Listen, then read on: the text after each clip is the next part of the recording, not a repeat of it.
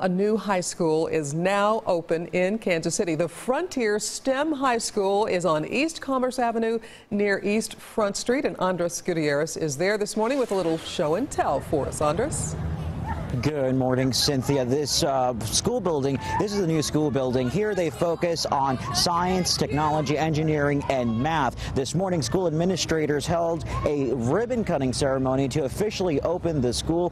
The newly renovated facility is 20,000 square feet, and students now have a number of new learning spaces, including eight classrooms, a cafeteria, computer lab, and science lab. Frontier Schools is a tuition-free charter school sponsored by UMKC we have drawn uh, these students from the inner city, and they have excelled. Uh, I think it, it busts that myth that inner city students can't be wonderful students. We, we, we've seen them do it.